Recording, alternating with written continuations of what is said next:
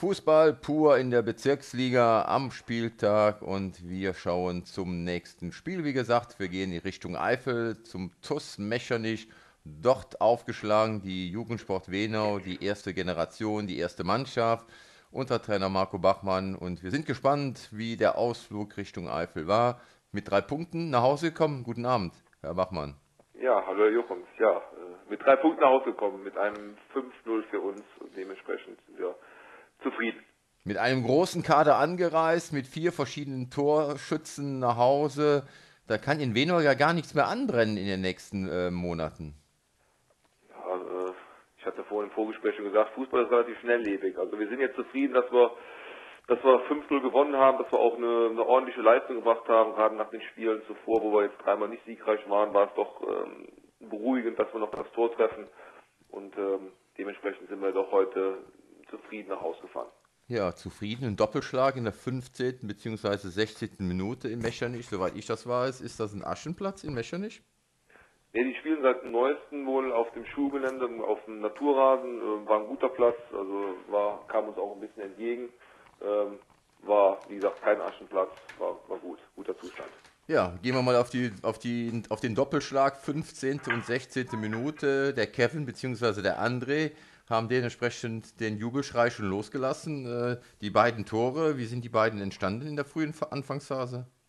Ja, es waren beide, ähm, also beide Situationen wurden schnell in die Tiefe gespielt. Ähm, es war einmal ein, ein, ja, es war so ein, aus dem Gewühl, also ein Querpass auf den Kevin, der dann äh, in die linke Ecke gespielt hat und das andere war auch äh, der andere Veres, der auch nach einem schnellen Umschaltspiel mit einem Gewaltschuss aus 20 Meter auch ins linke Eck äh, schon für eine beruhigende 2-0-Führung ähm, gesorgt hat. Ja, sie sahen beruhigend, aber ihre Mannschaft hat nicht nachgelassen, sondern ihr habt äh, vor der Halbzeit noch einen draufgelegt. Ja, das ist auch richtig. Also wir haben vor der Halbzeit das 3-0 gemacht äh, durch den Mimbui, der wieder nach vier Wochen äh, nach seiner roten Karte, nach der Sperre von vier Wochen wieder zur Verfügung gestanden hat. Der hat sich dann belohnt nach einem schönen Assist von Max Müller, dem zweiten Sturmpartner. Ähm, und ähm, ja, sind dann mit einem 3-0 in die Halbzeit gegangen, obwohl man sagen muss, wir haben, glaube ich, das eine oder andere trotzdem noch liegen gelassen und hätten durchaus noch höher hätten führen können. Wie haben Sie die Mannschaft denn in der Kabine empfangen zur Halbzeitpause? Mit welchen Worten? Ähm, ja, ein bisschen kritisch, weil wir die letzten fünf Minuten dann doch nicht, äh, nicht wirklich souverän gespielt haben, ein bisschen den Schlendrian haben äh, einlaufen lassen und äh, das habe ich dann versucht noch schnell wieder aus den Köpfen zu kriegen, weil wir haben in den letzten drei Spielen einfach immer es nicht geschafft, 90 Minuten unsere Leistung zu bringen und das wollte ich eigentlich verhindern, dass wir genau das diesmal anders machen, dass wir wirklich sehr konzentriert bleiben, dass wir 90 Minuten weiter aufs Gaspedal drücken und den Gegner dann auch in, in, ja, bestrafen. Ja, nach der Halbzeit haben sie den Max Müller in der 43, 54. Minute rausgenommen. Dafür haben sie ihren Joker eingesetzt, den Sven Biermann. Ja, was heißt Joker? Also der Max Müller hat jetzt äh, seine Chance genutzt. Der, der ähm, Sven Biermann hatte mal eine Verschnaufpause, weil wie gesagt, ich habe jetzt momentan vier Stürmer stehen wieder zur Verfügung. Da kann man dann ein bisschen rotieren. Es war jetzt so 55 Minuten gespielt. Max Müller hat bis dato ein gutes Spiel gemacht, aber es war jetzt einfach auch Zeit, frischen Wind zu bringen. Und äh, ja, hat sich dann gut eingefügt. Der, der Sven hat zweimal geknipst, also was will man mehr? Ja, Sie haben es angesprochen. Er hat zweimal geknipst, einmal durch einen Strafstoß in der 67. und fünf Minuten später nochmal zum 5 zu 0. Äh, mit welchem Tor hat er sich denn heute, sag ich mal, in Ihrem Hinterkopf äh, festgesetzt? Ja, das zweite Tor war, war sehr ordentlich, weil wir das äh, in der Trainingswoche nochmal mehrfach durchgespielt haben über die Außen mit diesem Querpass nach innen. Das war äh, sah ganz gut aus. Also das war äh, wesentlich schöner als der, der Strafstoß. Ja, Sie haben es angesprochen. Die letzten Wochen waren so ein bisschen herb für Sie als Trainer. Nun äh, heute den Durchbruch äh, am sechsten Spieltag. Ja, jetzt lassen wir die Kirche im Dorf. Also ich, wir haben im Vorfeld auch nicht ganz so schlecht gespielt. Äh, wir haben es halt leider nicht geschafft, jetzt, ähm, das Übergewicht an Torchancen in Siege zu münzen.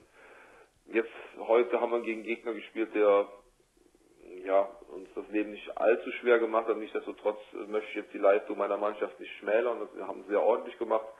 Aber jetzt kommt es einfach darauf an, wie wir, wie wir weiter marschieren. Also wir haben jetzt nächste Woche Sonntag, auch wenn wir jetzt noch weit weg von entfernt sind, haben wir die Steinstraße, die momentan auf dem zweiten Platz rangieren. Da wird sich zeigen, ob wir wieder eine, eine gute Leistung abrufen können, ob wir eine gewisse Konstanz in die, in die, in die Spiele reinbekommen.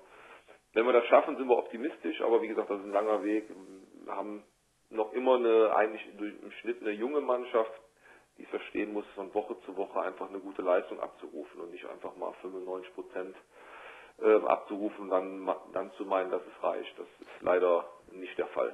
Ja, man kann zufrieden sein, ganz richtig, was Sie angesprochen haben. Sechs Spiele, zehn Punkte. Man ist mittendrin in der Bezirksliga und äh, man hat jetzt, sag ich mal, dementsprechend auch vielleicht ein bisschen die Routine bekommen im Spielrhythmus äh, bei den jungen Spielern. Und äh, ihr Fußball ist ja erfrischend und äh, man sieht ja auch, wo der Weg hingeht mit den jungen Leuten. Ja, das, das soll so auch so sein. Ähm, natürlich wollen wir jetzt den nächsten Schritt machen. Wir wollen natürlich jetzt auch den Auswärtssieg auf, auf heimischer Anlage ähm, vergolden. Das heißt, wir wollen natürlich äh, gegen Liechtenstein gewinnen. Ähm, aber wie gesagt, die ersten Wochen waren jetzt nicht, out, nicht, nicht allzu schlecht. Die, wir haben das Tor leider nicht getroffen und das war das Übel. Heute, wie gesagt, äh, haben wir auch noch eines liegen lassen, aber immerhin haben wir schon mal fünf gemacht. Wir wissen, wo wir, wo wir uns noch verbessern müssen, wo wir einfach noch ein bisschen Luft nach oben haben. Das ist, das ist bekannt, das wissen wir, da trainieren wir dran. Aber in Summe haben wir eine, eine gute Mannschaft auf dem, können wir eine gute Mannschaft auf den Platz schicken, wir haben eine hohe Trainingsbeteiligung. Die Jungs sind willig und äh, dementsprechend ähm, sind wir sehr optimistisch für die, für die Zukunft. Marco Bachmann, Jugendsport Wenau, vielen Dank und einen schönen Abend. Ja, danke